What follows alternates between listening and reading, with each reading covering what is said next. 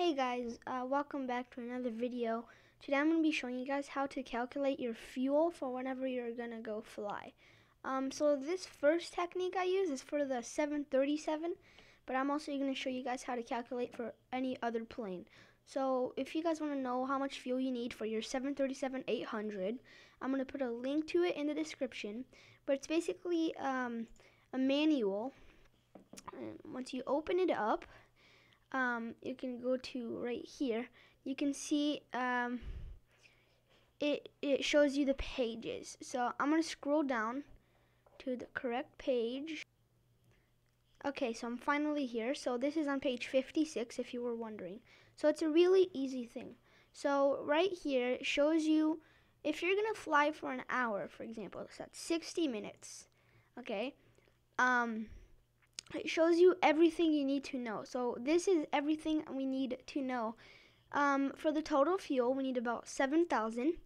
Um, it shows you how much fuel you're going to use for the cruising part. It shows you how much fuel for the, your climb, how much fuel um, for the left wing, how much fuel for the right wing. And it shows you, um, this is for 60 minutes and about 7,000 uh, pounds of payload. But imagine you're going to fly for 60 minutes with about like 20,000 pounds of payload. Let's scroll down. Here we've got about 23,000. So this would be it for 23,000. You would need a total of um, 7,000, uh, 7,000, about 7,000 pounds of fuel.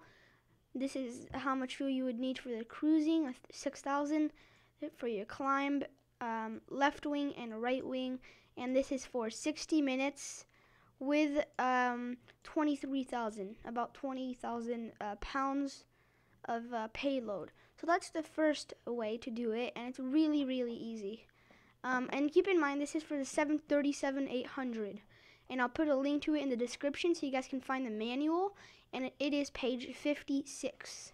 Now, the second way you can calculate your fuel is by using Online Flight Planner and I'll also show you guys um, a third way. There's actually another way. It's uh, similar similar to this one, but this one is really easy to use. So imagine I want to fly from uh, Los Angeles, and I want to head over to Seattle. So I put in my my um, uh, departure, destination, and my plane. Make sure to put your plane. Make sure to put the right fuel unit that you're comfortable with, and you just create plan. And as you can see here, it shows me how much fuel is needed. So I'll need about 21,400 pounds of uh, fuel. This shows me how long I can fly with that fuel. So this is for about um, four hours. Um, so you want to look at the fuel on board, and this is how much fuel you'll need, and this is how much fuel, uh, how much time that fuel can last. Now, uh, the third way, it's really easy. You just use SimBrief, and it's the same as this one. And I'll put a link to this flight plan in the description as well. And I'll put a link to this one as well.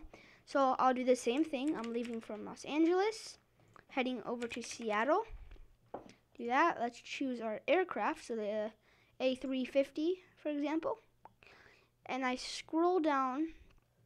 And uh, if you were wondering, you can check your route right here.